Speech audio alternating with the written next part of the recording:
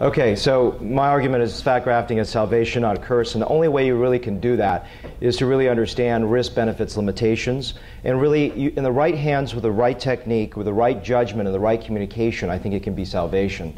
So obviously, do we want this? Do we want someone that looks overfilled? You can show really bad fat grafting results, but you can show really bad facelifting and rhinoplasty results and say, okay, we'll never do a rhinoplasty. Well, that's not right. So you can get seamless results. And so the key here is to start with understanding what the limitations, risks, and benefits of that technology is for a patient. And communication is everything. If you don't communicate, you really can't deliver great results. So let's talk about first risk, because if you don't understand the risks, you can't understand what the benefits are. Fat is not bioinert. It is not a, just a filler it is like a hair graft and it changes with time, and you need to know that.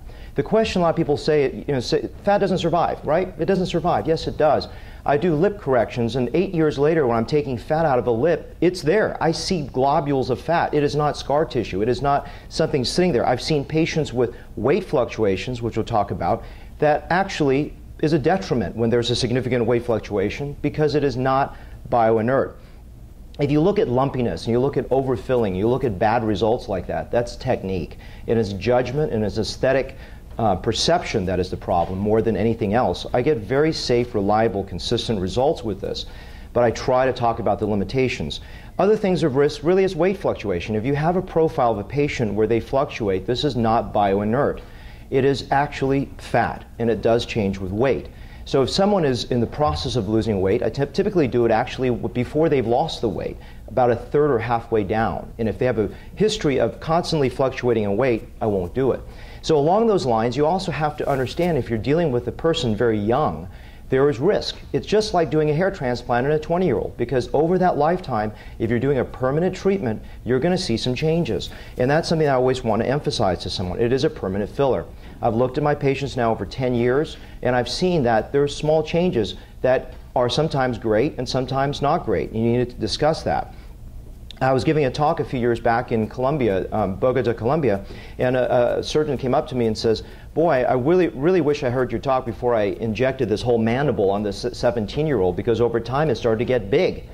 because you're treating it with a fat that's that is very different. It's donor fat. It's fat that behaves like in the in the belly area. So if you're treating it to fix asymmetric reconstructive bony issues in young patients that are not metabolically stable, that's a curse. So you need to know what it is to, to do, do it well. I've used, I've treated a Treacher Collins patient who's done everything they could with soft tissue, uh, sorry, with bone, and made it a really, really nice change so she could go back into the community and look great because I picked a patient that was more mature, uh, weight stable, that needed soft tissue envelope treatment.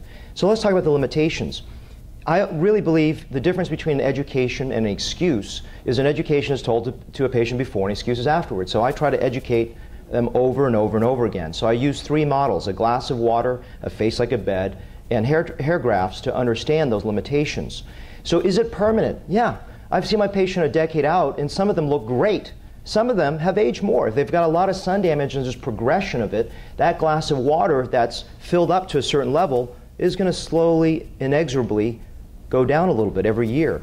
And that's important. I just saw a patient a decade out just a couple weeks ago, and she's really held her result really exceptionally well. I hadn't seen her because she moved out of the country and came back, but she didn't get a lot more sun damage. So if you get a lot of progressive aging over that time, you're going to have erosion of your result.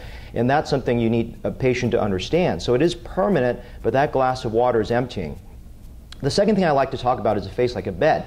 So what this means is that the fat is soft. It's placed deep like a mattress. It, it builds a deep foundation for the face. But if you start to try to use it as a neuromodulator and try to knock out a wrinkle, try to knock out a fold perfectly, you're not going to be successful and you're going to have a disappointed patient. So it's really, really important you understand that fat is a foundation work for the, for the face. It is not this little magic filler that you can go and stick in little nooks and crannies of the face and get a result. It's not reliable in that way.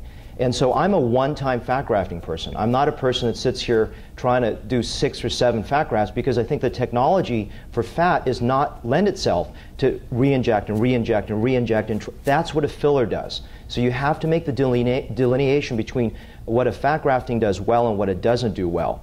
So going back to that concept of the hair transplant, what happens with a hair graft? When you put it in, does it grow in four days? No, it takes six months to a year. And so if you look at a fat graft, I think the large problem with a lot of physicians is they don't take standardized photographs and they don't watch it over time. So you need to watch your results before you say, oh, two months later, I'm going to stick some more fat in there. Because it matures over a period of 12 to 18 months, just like a hair transplant. And it's because it's a graft. And so when other people say, well, a fat graft lasts three years, what the heck does that mean? So you're telling me a skin graft that you put in there is going to all of a sudden get up and walk out in three years? It's a permanent graft. It doesn't survive 100%. It doesn't knock out skin flaws perfectly. It doesn't, it's not a neuromodulator. So you use the technology and you understand the limitations, you communicate those, those limitations to patients beforehand, and you get satisfied patients. And so I look at fat grafting, and it's not exactly 80 20, but it's about an 80% fill for the face. It provides a very rapid, natural rejuvenation of the face and it doesn't knock out everything. And so even in my patients, I come back and do some filler touch-ups to manage it and make it look a little better. But what is the point then? What is the singular benefit? For me, it improves the blink in a second. You look at a person and that person looks so much better with fat grafting. It's not going to fix all the small flaws. If you tell, I tell a patient it's not going to fix the small flaws. But when I show before and after in standardized lighting, if you forgot what you used to look like, you're going to see a remarkable difference. You should look a lot softer for a woman, much more feminine, youthful, brighter, at a much less expense.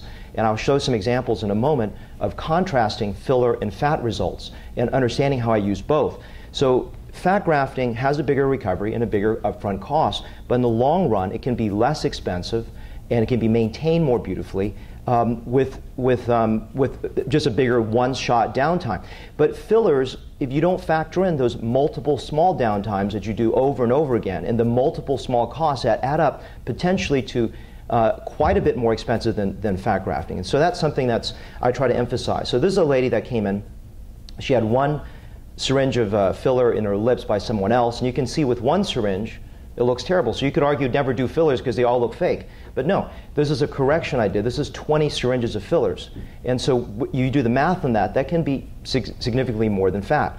This is a lady that's 35 on the left and 42 on the right. Same lighting, same camera, same distance, no ambient light. Uh, but she looks, there's so much more light on that face, and she's seven years older.